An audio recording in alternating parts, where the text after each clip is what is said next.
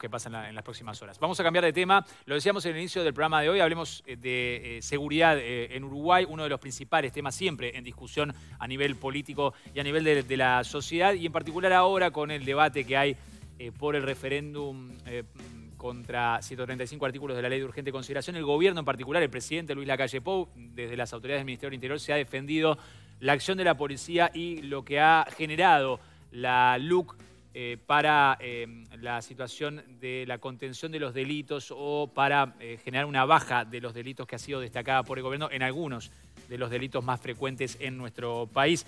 Vamos a ver cómo se proyecta este año, cuál es el balance de 2021 ¿Y cómo eh, influye la, campaña por el referéndum que se va a realizar en marzo para las autoridades del Ministerio del Interior? De todo esto vamos a conversar en los próximos minutos con Luis Calabria, director general de Secretaría del Ministerio. Gracias por acompañarnos, Calabria, una vez más. Un gusto estar aquí. Bienvenido, gracias. Bueno, eh, ¿qué balance se puede hacer si bien todavía no están obviamente cerrados los datos de, de todo 2021, de los últimos meses? En cuanto a, los delitos. Del Ministerio se ha defendido eh, lo que ha sido la, gestión y en particular la tarea de la policía en base y considerando lo que, ha sido la aplicación de la ley de urgente consideración en medio de, este, este, debate que ya, que ya es eh, nacional y que bueno, ya se ha ingresado en la campaña por el referéndum eh, por parte de, quienes lo impulsan y por parte del gobierno. ¿Qué balance ustedes hacen de lo que ha sido el término, el cierre del año 2021 y las expectativas para este 2022?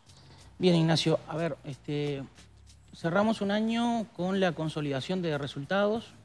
Eh, venimos cumpliendo los objetivos planteados por el presidente de la calle con el ministro Larrañaga primero y luego la continuidad del, ministro Heber.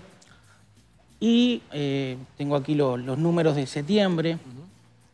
Tuvimos un, descenso en, en, homicidios, en hurtos, en rapiñas, en violencia doméstica y en abigeato se van a cerrar los datos del año y se van a presentar el próximo 18 de enero, pero tenemos la expectativa de cerrar el año con baja de, delitos, que vamos a tener menos homicidios que el año 2020 y mucho menos que el 2019 y 2018, y menos rapiñas, menos hurtos y menos delitos eh, en el global, considerando todos los, delitos. Eh, entonces creo que el resumen es que estamos mejor en seguridad y comprometidos a seguir mejorando. Los resultados eh, a nosotros nos dan la tranquilidad de que el rumbo que tenemos en la seguridad pública es el adecuado, pero tenemos el compromiso de seguir mejorando. No es algo que nos eh, llame al quietismo, sino por el contrario, nos redobla el, compromiso, en definitiva pedimos la, la oportunidad de gobernar y de gestionar para tener resultados. Usted ha dicho recientemente eh, que la LUC se defiende eh, por, la, propia realidad, o sea, eh, por, los hechos de, lo que tiene que ver con los resultados que usted está, mencionando y en particular en lo que tiene que ver con, la acción de la, policía. El propio presidente ha, defendido el tema de, las cifras, que no han bajado todos los delitos, como usted mencionaba, según el, último dato de, septiembre, pero desde el gobierno se ha hecho una, defensa de la LUC en general, tomando en cuenta y tomando en consideración el tema de la seguridad. Por el otro lado, eh, se ha cuestionado mucho la situación de, las cárceles, y sobre todo en este año donde, han ocurrido varios hechos graves, y el tema del aumento de las muertes, ¿no? que ha sido este, también notorio en este año 2021, en este año que, terminó. Eh, ¿Por qué ustedes consideran que la LUC ha sido fundamental para eh, la mejora que ustedes destacan de, los datos de, seguridad? Sí, yo creo que la LUC ha sido fundamental porque cambió el paradigma de seguridad pasamos de una policía estática que esperaba que las cosas pasaran a una policía mucho más dinámica, con mayores potestades, mayores posibilidades. Algunos ven más poder en la policía como algo malo, nosotros no. Yo creo que el, policía es el soporte de la ley, es la ley actuando y eso hay que respaldarlo y lo respalda normativamente la LUC. Y cuando digo que la realidad es el mejor defensor de la LUC es porque lo que nosotros decíamos que iba a pasar con la LUC pasó y lo que decían que iba a pasar los, detractores de la LUC, que iba a haber gatillo fácil, que iba a haber abuso policial y una infinidad de, pronósticos catastróficos, no se cumplieron. Entonces, quien defiende, el próximo domingo se cumplen eh, el año y medio, los 18 meses de la promulgación de la ley. Y todo eso que dijeron que iba a pasar, todo eso malo que dijeron que iba a pasar, no pasó. Entonces, quien defiende a la LUC es la realidad. Y hay mejora en, los resultados de, la policía porque tiene mayores posibilidades de actuación. ¿No hubo abuso policial en el caso de eh, el enfrentamiento con los trabajadores del transporte? El otro día estuvimos charlando con el ministro Pablo Mieres. Él nos decía que eso no debió haber pasado cuando un policía disparó, ¿no? A ver, la policía tiene el uso de la fuerza. Y cualquier institución que tiene el uso de la fuerza tiene la posibilidad de excederse. Que el exceso sea abuso, bueno, es discutible. No creo que hayan dicho que iba a haber abuso policial por un hecho, en el caso que hubiera sido mm. abuso. Yo creo que no hubo abuso, creo que se actuó bien, se actuó, acorde a la ley de procedimiento. ¿Pero el exceso es admisible? El acceso no es admisible.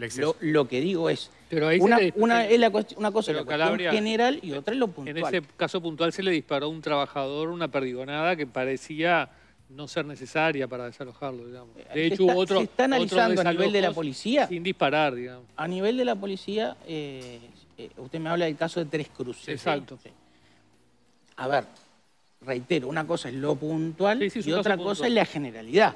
Lo que planteaban los detractores de la LUC era que iba a haber una cuestión de gatillo fácil generalizada, de abuso policial generalizado. Eh, en el caso de eh, Tres Cruces hay una investigación a nivel interno eh, respecto a si la actuación fue 100% acorde a, la necesidad del momento. yo creo que sí, porque estaban atacando, no estaban, no fueron atacados o repelidos por no hacer nada. Y en el caso del puerto... ¿Los estaban atacando a, los policías? Y si usted toma solo un, fragmento de, la, de, las imágenes, se ve que, están, este, se están yendo. Se están yendo porque habían venido antes. Y los están sacando los propios compañeros porque algo mal estaban haciendo. Si no, los propios compañeros no los sacarían. Entonces, en el contexto, eh, hay que mirar todo. Justo el, disparo se da de todas formas cuando en el momento en que ellos están yendo, ¿no? No, es un disparo en defensa. Sí, sí, hay que estar en el momento también. Yo no, nosotros no venimos a justificar lo que se hace mal, para nada. Digo que hay que comprender los momentos. Acá, acá, tampoco lo está admitiendo. No está justificando, pero no está diciendo que se hizo algo mal. No, digo que se está investigando, porque eh, si se actuó bien o mal. Yo, honestamente, hay que estar en el momento, ¿no? Eh, pero creo que lo importante es la distinción de lo general de cuestiones puntuales. Está claro.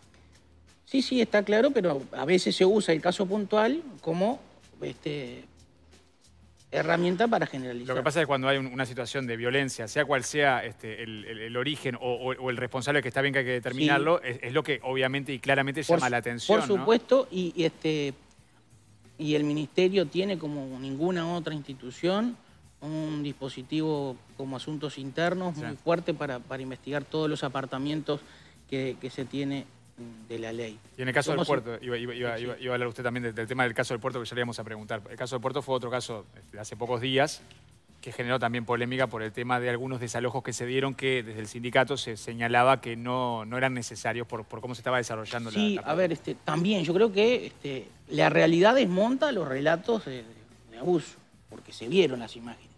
Se hizo una conferencia de prensa y se dijo que había una brutal represión, creo que fue la, frase exacta que, se usó, brutal represión. Vieron las imágenes, no hubo brutal represión, se lo sacó, porque no dejaban pasar a otros trabajadores. hay un conflicto de derechos ahí y hay una ley que manda sacar. Y se lo sacó de la mejor manera posible y no hubo ninguna situación de, abuso, a mi entender, y creo yo que entender de cualquiera que ve las imágenes. Volviendo... Sí, perdón, dale, No, si era sobre este punto, dale tú porque iba a cambiar... En realidad quería, preguntarle sobre el tema de, este tipo, de, estas, situaciones que se han dado puntuales. Si ustedes ven, porque desde el gobierno se ha dicho que hay eh, eh, un aumento de la virulencia o eh, por parte de sindicatos una intencionalidad de generar un mayor conflicto con el gobierno en, en medio de la campaña por la luz. ¿Ustedes lo ven así del Ministerio del Interior? No, yo creo que no. Eh, a ver, nosotros tenemos mucho diálogo con todas las instituciones, con, eh, con el con los distintos sindicatos. Eh, y por el contrario, vemos ánimo de las cúpulas de, este, de tranquilizar, de apaciguar, de, de evitar los conflictos. Seguramente hay alguna otra parte que no, que busca otra cosa. Pero creo que la, los responsables de la conducción de, de las organizaciones y los sindicatos están en, en la línea de este, calmar las El diálogo. Sí, del diálogo. Dale. Yo quería precisar un punto anterior que hablaba de las cifras que se van a divulgar dentro de poco de homicidios. Tenemos, en 2019 hubo, según el Ministerio, 393. Sí, El año pasado 334, según el 338. 38. Y Sí. la Fiscalía decía 340, es decir, una Mm. situación casi igual. ¿Tenemos un provisorio o algo para anunciar para este año que, está, cer- que cerró recién? No, lo que le puedo decir es que eh, tenemos la expectativa de estar por debajo de- del año 20 y muy por debajo de los años anteriores. Pero ¿qué quiere decir tener la expectativa? que se va a dar a conocer el 18 de No enero. se puede decir nada No todavía. se puede No, adelantar vamos a nada. esperar, el, el ministro va a hacer el, el anuncio el 18. Eso porque se están ajustando las cifras, se está Sí, revisando. a ver, este, el, el observatorio lo que hace es un relevamiento de, de todas las, las novedades policiales y hace el seguimiento y el ajuste de, por eso a veces hay algún, alguna diferencia, porque se van ajustando las carátulas, este, una rapiña que cambia a, a hurto o viceversa, o que termina en homicidio, una persona que no murió pero termina muriendo y termina siendo un homicidio. Por eso esos ajustes son lo que hace el, el observatorio. Y se está muy justo sobre la cifra del año pasado para no poder decir que, hay, que hubo una baja, se está muy... No, creo que va a ser una baja considerable. ¿En todos los delitos o principalmente en homicidios? En Eh, no, en homicidios, en rapiñas, en hurto. Y un dato que para mí es este, muy importante, la globalidad de, de los delitos. La globalidad de los delitos viene bajando. Casos de violencia de género también. Bueno, ahí este, eh, creo que sí que hay, que hay que esperar porque ha sido un, un delito que ha tenido fluctuaciones. Ah, hemos tenido trimestre de baja, algún trimestre de, de- de- de paridad. Eh, es un delito también muy particular. Nosotros estamos este, eh, abriendo nuevas comisarías este, de violencia doméstica y es una situación que a veces hay, hay miedo a denunciar y donde la mayor cantidad de canales posibles para denunciar ayudan. Volviendo al tema sindical brevemente, ho- hoy justo sale en- en el diario El País una información sobre eh, una reunión del PIT-CNT en la que eh, integrantes del sindicato policial denuncian que fueron agredidos, que, fueron insultados, que los acusan de ser represores de los trabajadores y que los quieren eh, echar de, la central sindical. Un tema que también, este, que tampoco es nuevo, que, también ha ocurrido este, el año pasado, en, algunas oportunidades hubo, críticas en ese sentido.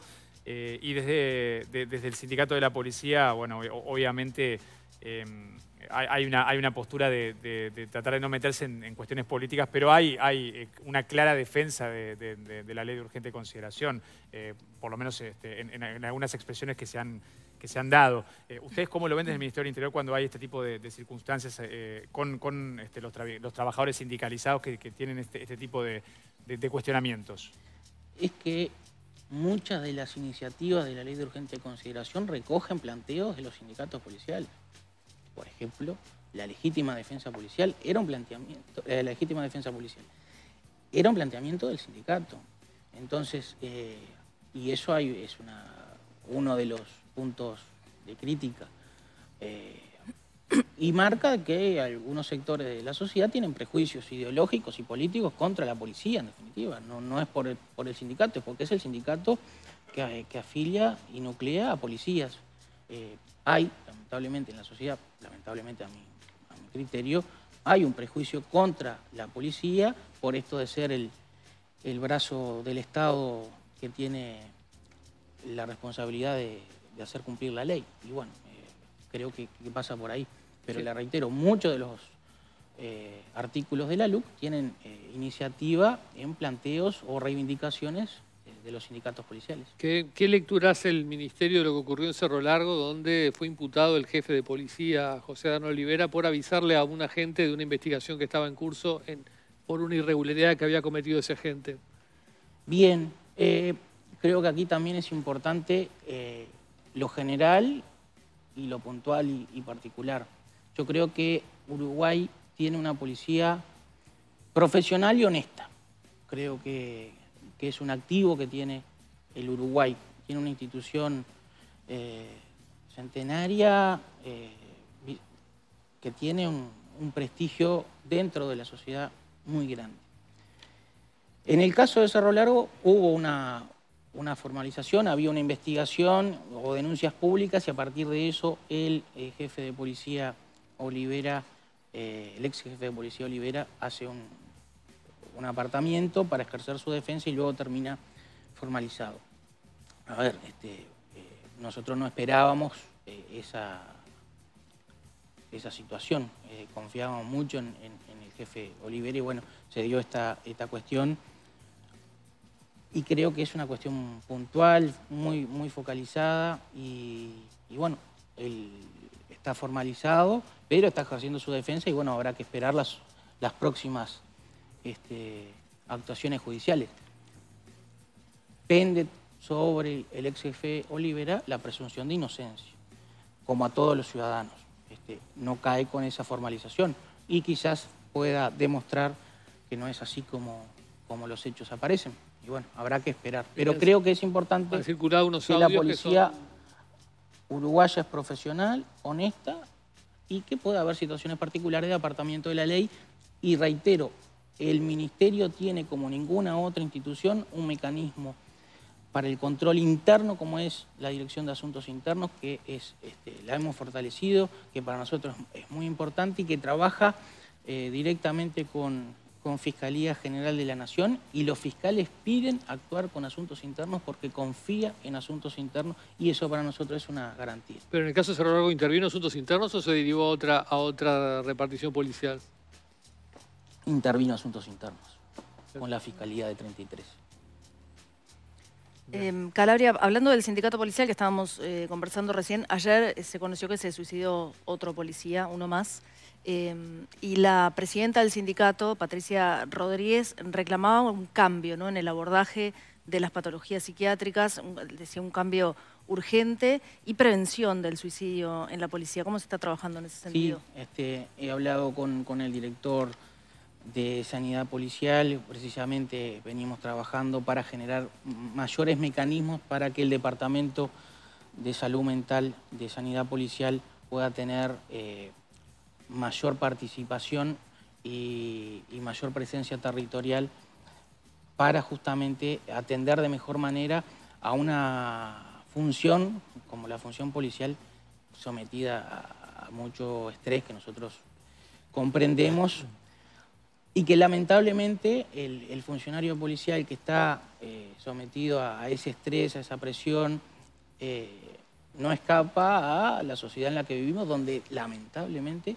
también tenemos este, números de, suicidios muy altos. Eh, si no recuerdo mal, el, el, año pasado fueron 718 suicidios. O sea, este, es, es, un problema que tiene el Uruguay, la salud mental, y que tenemos que, atender. Eh, estamos trabajando también en cárceles con, salud mental, con, con ACE, para este, trabajar en, adicciones. O sea, estamos abordando eh, el tema y bueno, este, son cuestiones que, tenemos para este año como desafío. el tema, perdón, no, no, no. si, en este momento estaban trabajando puntualmente con los policías en este tema o es algo que se prepara. Sí, el, Departamento de Salud Mental del, Ministerio tiene 20 eh, psicólogos, 20 eh, psiquiatras, eh, cerca de 70 psicólogos, con la tarea de atender una población de 33.000 funcionarios policiales y sus familias. Y en el tema cárceles que usted menciona, yo le mencionaba más temprano al pasar eh, sobre el tema de las muertes que hubo el año pasado, ¿no? 86 eh, según los datos brindados por el comisionado parlamentario, publicados por la diaria en los últimos días. Eh, ¿A qué atribuyen ustedes este, este aumento de, las muertes? Algunas fueron homicidios, otras fueron suicidios, 17 suicidios. 17 suicidios, 21... 21 homicidios, algunas muertes dudosas que, que, se están todavía investigando. Y hubo algunos hechos ¿no? puntuales el caso, que uno de los más sonados del año fue ese recluso que estuvo secuestrado muchos días, eh, agredido, torturado. ¿Cómo ven ustedes la situación de las cárceles? Que es complicada desde hace muchos años, pero que el actual, eh, el actual ministerio y el actual ministro Heber ha señalado como un gran problema. Sí, a ver, este, el, problema carcelario nosotros como, ministerio lo pusimos arriba de la mesa. Eh, el, entonces ministro Larrañaga eh, en junio del, año 20 planteó el, plan Dignidad en, el Parlamento, donde tiene muchas aristas. Una es la, atención sanitaria en, cárceles. El ministro Heber, eh, con el presidente ACE, el doctor Cipriani, establecieron algo histórico en el sistema, que es el, diagnóstico de salud a todos los presos. En aquel momento, cuando se, se firmó el convenio, teníamos 14.000 presos, hoy estamos en 13.000 800. ¿Se terminó hacer diagnóstico? no, está en curso, pero es este, algo histórico. Nunca se había hecho y, va, y los privados de libertad van a tener su, historia clínica y su diagnóstico eh, eh, en, ACE. Y, eh, entonces estamos abordando el tema. En el caso de, las muertes por homicidio, considerando la población, el porcentaje es, menor al, al 19 el, sí, el, aumento de muertes eh, también lo estamos analizando porque hay una cantidad de muertes no violentas, no son suicidios, no son homicidios, eh, son causas naturales que bueno, tenemos que ver y creo que este diagnóstico de salud que está haciendo BASE nos va a ayudar en, atender ese tema. ¿Cuándo lo van a tener terminado? Y van, creo que cerca de 6.000 privados de libertad, así que supongo que sobre abril, mayo podremos estar culminando. Lo que pasa es que como usted hablaba, por ejemplo, en, el caso de la represión a, piquetes sindicales, que, no hay que confundir lo particular con lo general, pero acá, acá estamos en un... justamente es una situación que excede los casos particulares, digamos. Tenemos, hay muertes, hay suicidios, sigue habiendo asesinatos en las cárceles. Eh, menos que antes. Sí, pero sigue siendo preocupante. Digamos, por supuesto, por supuesto. Yo no vine acá a dar excusas, eh, porque este, estoy en el ministerio no para dar excusas, quiero estar en la gestión para dar eh, resultados y respuestas, para cambiar la vida y para cambiar las cosas. Y estamos trabajando, no es que no estamos haciendo. En, el tema cárceles, eh, ningún gobierno ha hecho más que nosotros. Habrán hecho igual, pero no más que nosotros. El problema carcelario lo puso este gobierno arriba de la mesa. Nosotros establecimos el plan dignidad y eh, le dimos trabajo a, los privados de libertad para rehabilitarlos. Se, plantaban 28 hectáreas en, eh, en cárceles. Hoy estamos en 188. Es la misma tierra, no inventamos tierra. Eh, hicimos 2.000 camas porque había 1.850 privados de libertad eh, que dormían en el piso cuando asumimos. Y, y no somos extraterrestres, somos uruguayos. Como eran uruguayos los que estaban antes. Entonces, los que estaban antes tenían 1.850 presos durmiendo en el piso y era tan fácil como hacer una cama de madera. Y hicimos la cama de madera. Eh, ¿Qué cambió? Y yo creo que las ganas de hacer la cama de madera. ¿Y qué falta? ¿Qué falta?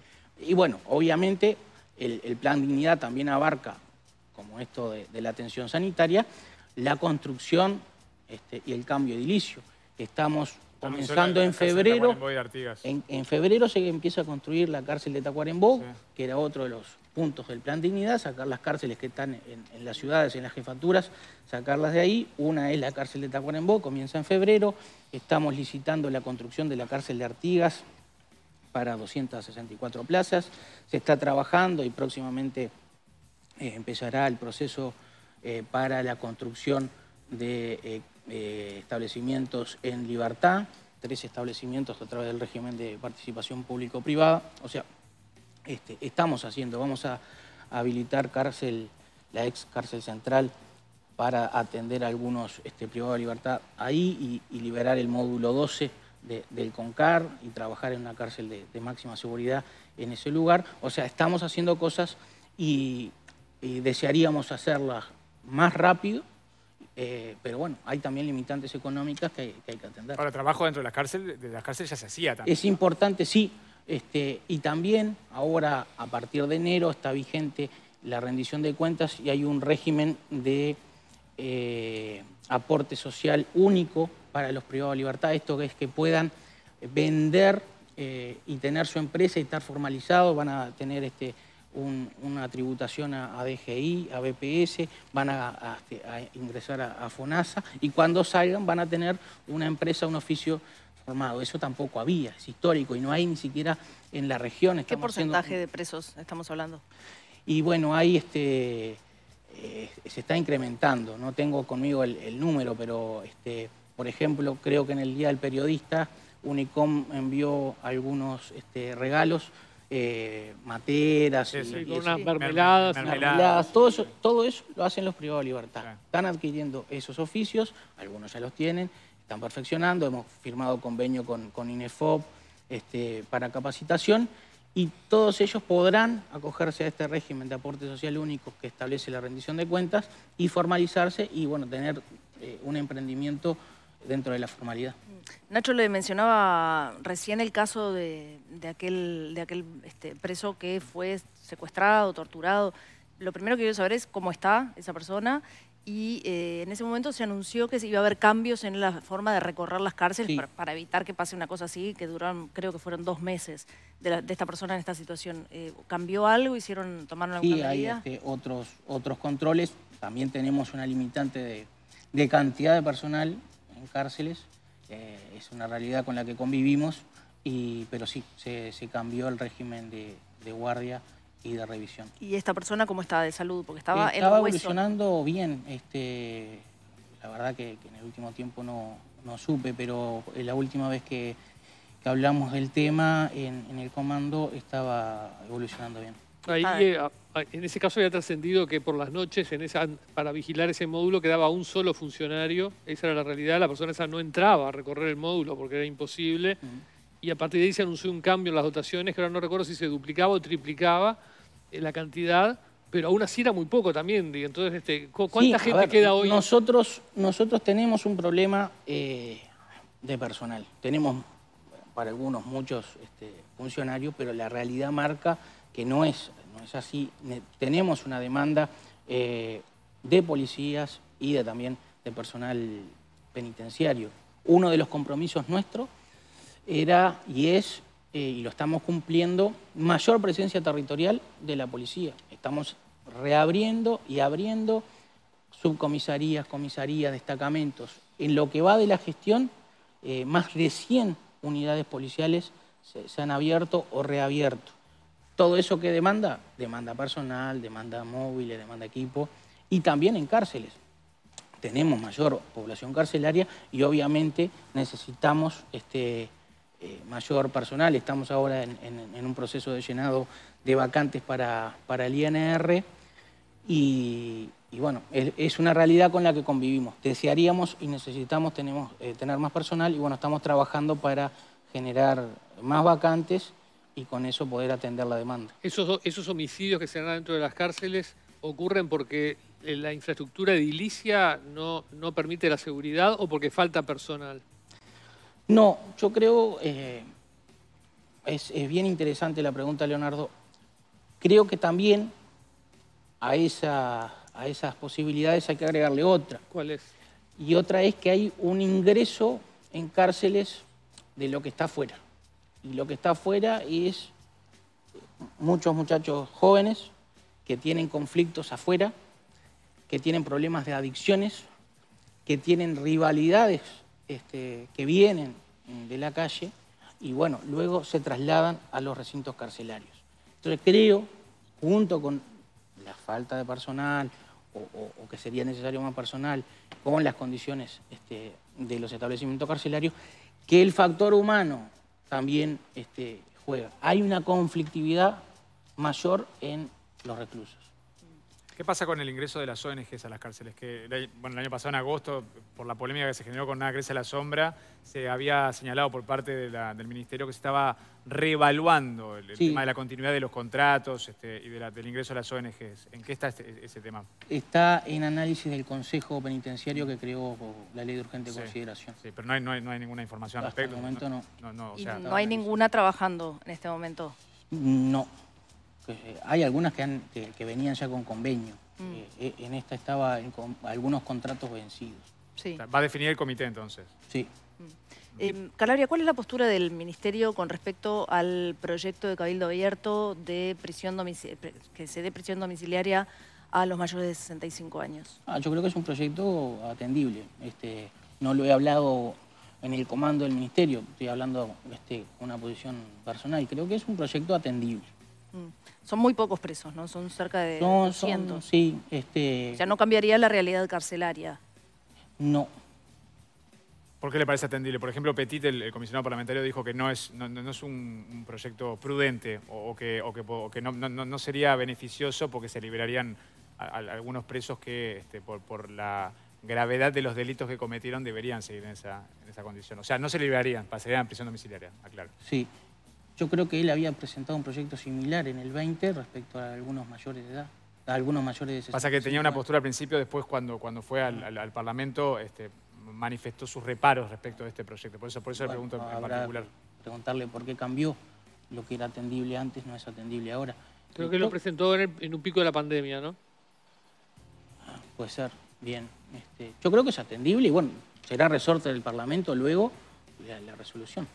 Le- Otra, le o- que- sí, perdón, dale. No, por, por otro tema que está eh, también propuesto, que es la idea de, de justamente que, que ha generado polémica del, del exdiputado Radio al frente de la Sí, Junta de Drogas sí. respecto a que en la cárcel se pueda acceder, ya sea o por venta o por distribución, a la marihuana de una manera legal, de un modo de evitar también el tráfico que hay en las cárceles este, de droga. Sí, yo no, no, no he hablado con, con el doctor Radillo sobre el punto ni ha llegado al ministerio ese planteo. Pero, Cuando llegue, ¿qué le parece? y bueno, cuando llegue veremos, No tiene analizaremos. una idea, una idea La tengo. ¿Y puede cuál es? decirla. No. Ha sido cuestionado por, por la propia coalición, Radio. Bueno, de hecho, en estos momentos este, hay, hay quienes Sí, su denuncia. yo creo que son situaciones distintas. Este, del tema marihuana en cárceles creo que es distinto a, a- a lo que es la, la internación compulsiva. Pero cuando venga eh, el proyecto, este, daremos la ¿Y opinión. cuál es su opinión sobre el- la existencia de drogas en las cárceles? Que es in- in- no puede negarla, supongo, ¿no? No, y bueno, obviamente que genera una enorme distorsión y, y no lo veo, lo combatimos. La marihuana incluso genera enorme distorsión. Bueno, pero ahí me hace ingresar en el proyecto que yo no voy a hablar del proyecto. Pero ¿cómo se puede atender la situación, digamos? Este, para, para- para evitar esa enorme distorsión? Nosotros- El tráfico existe en las cárceles. Sí, eh, el tema es que la droga que ingresa a cárceles vale eh, dentro de la cárcel cuatro o cinco veces más. Entonces mane- se, se imagina que eso genera una enorme este, distorsión adentro del sistema. Una, una distribución regulada o, o una venta legalizada como se da en el resto de la sociedad Mire, podría a ver, ser un factor que ayudaría. Genera distorsión adentro de las cárceles el consumo de psicofármacos, de pastillas recetadas, porque las venden, las distribuyen. Entonces, Bueno, eh, eh, eh, hay presos que son obligados a retirar de la enfermería en base a sus padecimientos, pero luego dárselos a otro. Sí, estamos en- es trabajando para dar medicación en boca y evitar eso. Eso pasa. Y eso debe pasarse. ¿Y el prohibicionismo es la, es la opción, digamos, para, para evitar el, el tráfico? Eh, salgo del tema particular Sí. y voy a un tema Sí. general. Y no hablo de este, de este tema. Cuando se habla de eh, permitir el, el consumo de drogas o liberar el consumo de drogas, se soslaya un punto, que es el punto de la salud de la gente. Salvo que me digan, ah, no, no, este, la, la- la droga es buena, no hace nada. No me han dicho, no, mire, la cocaína es fantástica, es buena. Nadie va a decir, decir eso nunca. ¿Y por qué quieren liberar la cocaína? entonces? ¿Quién quiere liberar la cocaína? Ah, cuando hablan de liberar las drogas, la no, droga- la cocaína pero eh, lo que se está hablando es acerca del consumo de marihuana, que en este... Pero yo no estoy hablando del caso puntual. Yo salí No del quiere, caso. no nos quiere No, dar la decir- visión. no, Yo pero- salí del caso de la marihuana. No estoy hablando de la marihuana. Hablo en, ca- en general de que una variable que no se considera cuando se habla de liberar el consumo de drogas, en el caso de la cocaína, es el efecto Ah, sanitario. pero ahora no está en discusión la cocaína. No. O sea, el tema es Pero ha regularizar el estado. mercado. Sí, puede pero ser. además estado. el, Pero ahora no está. cigarrillo, el alcohol Claro, tampoco son, buenos. Son drogas Ah, legales. son legales. Dicen que no es bueno, y bien. Pero cuando se habla de regular el mercado es precisamente para este, atacar Pero el ¿Cómo evitan la- el tema? Porque no me nunca dicen se dice que no, pero nunca se dice que no hace pero mal no, lo, pero no lo hablan, no hablan del tema de salud. Pero ¿quiénes no hablan del tema? Los de que promueven la liberación. Para, para, pero todas las cárceles son en general, dice usted. Yo no estoy hablando de cárcel. Estoy hablando en general de cuando hablan de liberar el comercio de todas las drogas. Yo creo que sie- siempre se, siempre se habla del tema de la salud. Yo cuando creo se habla del cigarrillo o del Sí. alcohol y, y también de la Los marihuana. que plantean la liberalización de venta de todas las drogas, incluyen la cocaína, no hablan, o yo no he es una, escuchado. No. es una posición que existe pero no es, no, no tiene una corriente mayoritaria hoy en día en- a Ah, no, nivel correcto. nacional ni Bueno. mundial. digamos. No, y desde Por la suerte. Junta de Drogas se abre, obviamente. Pero yo no estoy hablando de la Junta, general. no estoy hablando de la Junta de Droga ni del, de este proyecto de marihuana. Usted dice grupos eh, sociales que promueven liberación de, Exacto. de- de Sí. consumo de drogas. Le, le cambio, le cambio la, la- la pregunta, entiendo que no quiere entrar en el tema puntual, pero digamos, hay- es un problema endémico el, el tráfico de drogas dentro de la cárcel. Usted mismo lo acaba de decir, están pensando darle los psicofármacos en la boca porque hay este, extorsiones y eh, hay gente que la pasa peor en la cárcel todavía porque justamente eh, son este, obligados por otros a hacerles como eh, proveerlos de drogas que necesitarían para su salud y tienen que darlas para que se trafiquen adentro de la cárcel. Es decir, ese- y aparte luego hay un tema de corrupción policial, porque se han puesto escáneres, se revisa todo el mundo y sin embargo la droga sigue circulando. Es decir, tenemos un problema, no es de esta administración, viene desde antes. ¿Están pensando alguna manera novedosa de tratar de enfrentarlo? Porque genera Sí. muchos problemas y, y no se soluciona. Sí, este, lo que le puedo decir es que eh, Asuntos Internos está trabajando en el tema y está trabajando con Fiscalía, tanto con, con el ingreso de droga como el ingreso de celulares, por ejemplo. Estamos trabajando el, el tema con, con Asuntos Internos y Fiscalía. Muy bien. Luis Calabria, director general de Secretaría del Ministerio del Interior. Muchas gracias, como siempre, por acompañarnos. ¿eh? Siempre es un gusto. Muchas gracias. pase bien, muy nos vemos amable. pronto. ¿no? Amigos, hacemos la primera...